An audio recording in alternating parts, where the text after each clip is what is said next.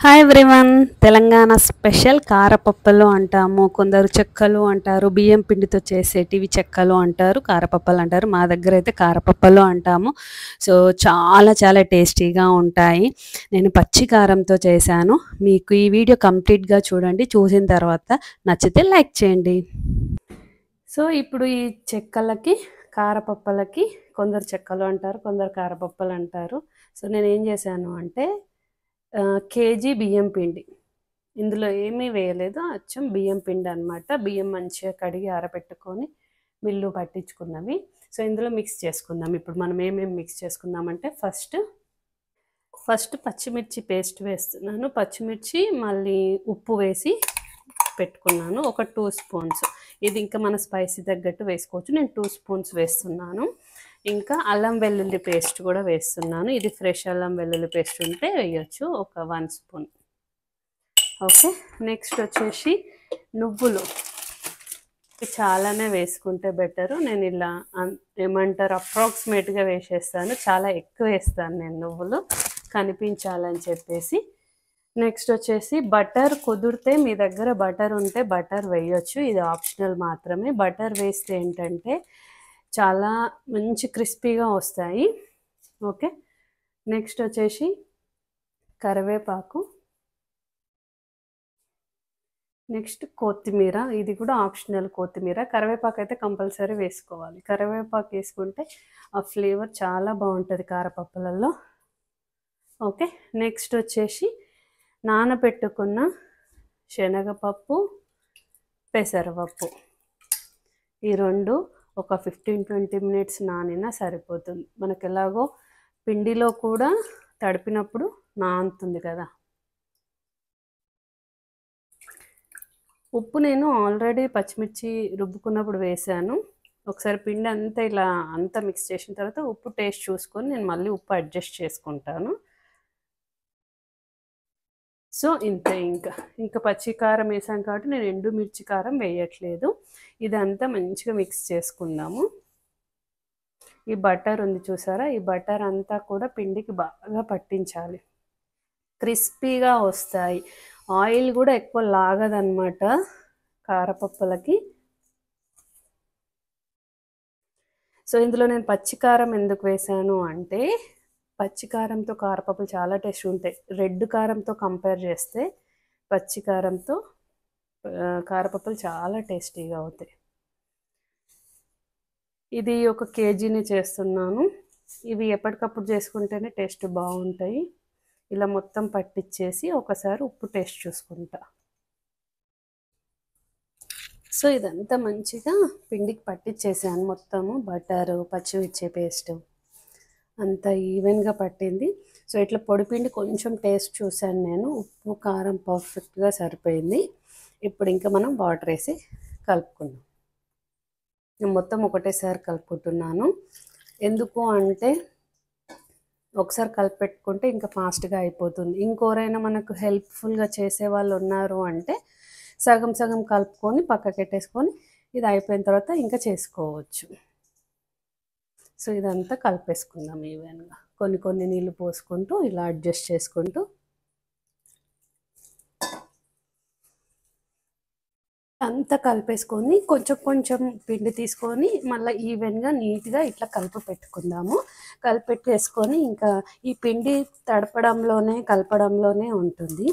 పిండి బాగా ఇట్లా ప్రెస్ చేసినట్టు మనం కలుపుకోవాలి. చాలా సాఫ్ట్ ఉంది చూడండి. ఇలా. కన్సిస్టెన్సీ ఇలా ఉండాలి చూడండి. ఓకే? ఇప్పుడు ముద్దలు పెట్టుకుందాము. మనం ప్రెస్ ఉంటే మీరు ప్రెస్తో చేసుకోవచ్చు లేదా చేతితో ఒత్తుకోవచ్చు. సో ఇలా కొంచెం తీసేసుకొని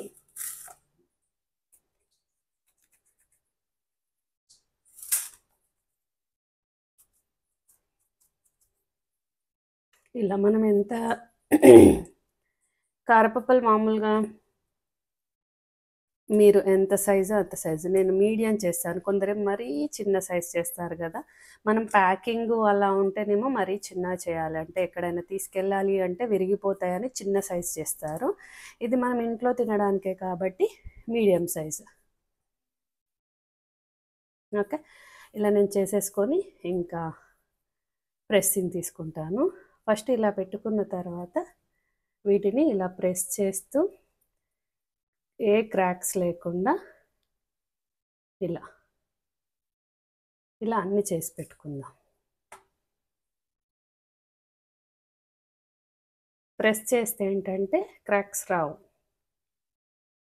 ఇలా.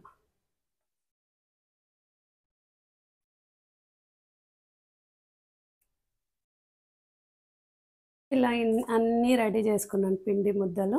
ఇంకా నేను పూరి ప్రెస్ ఉంది ఇది పూరి ప్రెస్ చిన్న సైజ్ది పెద్దది కాదు. ఇలా ఆయిల్ కవర్ ఉంటుంది కదా ఈ ఆయిల్ కవర్ కూడా ఇలా కట్ చేసి పెట్టుకోవాలి. సో ఇప్పుడు నేను అన్నీ రెడీ అయింది. ఇప్పుడు ఇంకా నేను ఒకసారి ఈ ఆయిల్ కవర్కి ఇలా కొంచెం ఆయిల్ అప్లై చేస్తున్నాను. ఏంటంటే ఒకసారి అంటుకుంటే మనకు ఒక త్రీ ఫోర్ వచ్చేస్తాయి. నెక్స్ట్ ఇక్కడ ఇంకొక దాని మీద ఇలా కవర్ పెట్టాను.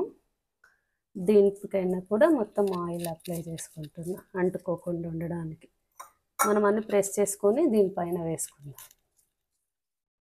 నేను అండ్ ఇంకొక సైడ్ స్టవ్ పైన ఆయిల్ కూడా వేడి చేసేసుకుంటున్నాను.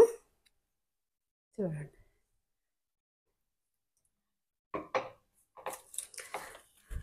సో ఇప్పుడు ఇంకా ఒకటి ప్రెస్ చేసేసి ఇలా మధ్యలో కాకుండా కొంచెం మీకు పల్చగా కావాలంటే పల్చగా లేదు అంటే కొంచెం లావుగా కావాలంటే లావుగా. నేను మీడియంగా చేశాను అనమాట సో నేను ఈరోజు చేసే మీడియం సైజ్ అనమాట మరీ చిన్న చెక్కలు కాదు.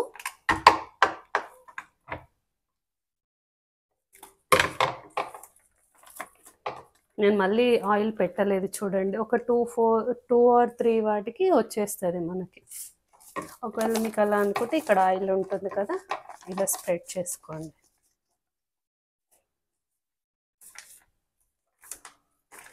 సో కారపప్పలు చాలా ఈజీగా ఫాస్ట్గా మనం ఒక్కరమే చేయొచ్చు. ఎవరి హెల్ప్ లేకున్నా కూడా ఒక్కరమే చేయొచ్చు. అండ్ పిల్లలు అయితే చాలా ఇష్టంగా తింటారు. స్పైసీ ఇంట్రెస్ట్ ఉన్న వాళ్ళైతే చాలా ఇంట్రెస్ట్గా తింటారు. నేను త్రీ చేశాను. మళ్ళీ ఇప్పుడు ఆయిల్ అప్లై చేస్తున్నాను. సో ఇలా అన్నీ ప్రెస్ చేసుకుందాం. సో ఇంకా ఆయిల్ హీట్ అయిపోయింది. ఆయిల్ హీట్ అయిందా లేదా కొంచెం పిండి వేసి చూద్దాము.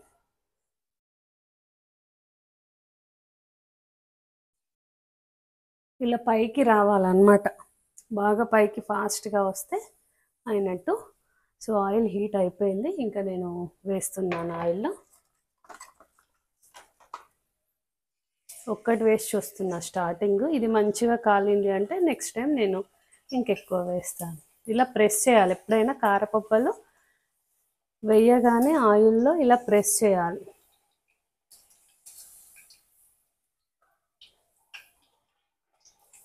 ఈ ఆయిల్ నేను నిన్ననే గర్జకాయలు చేశాను అనమాట మీకు గర్జకాయలు అంటే చాలా మెంబర్స్కి తెలియదు గర్జలు అంటారు గర్జకాయలు అంటారు.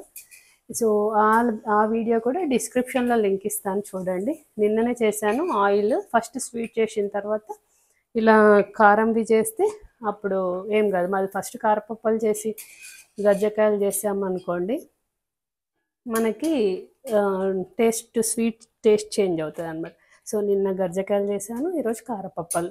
సో ఇలా ఒక వన్ మంత్కి ఒకసారి ఇలా చేసాము అంటే పిల్లలకి స్నాక్స్ సరిపోతాయి. సో ఇంకా వేడి కావాలి వెయిట్ చేద్దాము. సో ఇప్పుడు ఇంకా ఆయిల్ హీట్ అయిపోయింది వేద్దాం. చూడండి చాలా బాగా అయింది. మరీ ఆయిల్ హీట్ అయితే కొంచెం స్టవ్ సిమ్లో పెట్టుకోండి.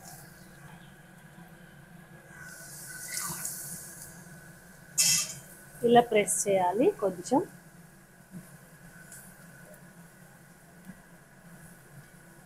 ఒకవేళ త్రీ కాలడం ఇబ్బంది అవుతుందంటే టూ వేసుకోవచ్చు. Three okay. చిన్ని వేయకపోతే ఇల్లంతా చుట్టుకుంటుంది అని వేశాను. మీకు సౌండ్ క్లారిటీ లేదు కావచ్చు. చిమ్నీ వేస్తేనే ఆయిల్ ఇంట్లో స్ప్రెడ్ అవ్వకుండా ఉంటుంది. సో తొందరగా కాలిపోతాయి మనకి కారపప్పలు. చూస్తే ఇలా వైట్గా అనిపిస్తున్నాయి కానీ చల్లారిన తర్వాత మంచి కలర్ వస్తుంది. ఇంకోటి నేను పచ్చికారం వేసాను కాబట్టి తెల్లగానే ఉంటాయి. రెడ్ కారం వేసి ఉంటే అప్పుడు మీకు రెడ్గా అనిపించేది. సో రెడ్గా అనిపించట్లేదని ఎక్కువసేపు కాల్చొద్దు మనము. ఎక్కువసేపు అస్సలు ఫ్రై చేయొద్దు. ఇంతే ఇంత ఉంటే చాలు. ఇలా. ఓకే మళ్ళీ ఇంకా వేద్దాము.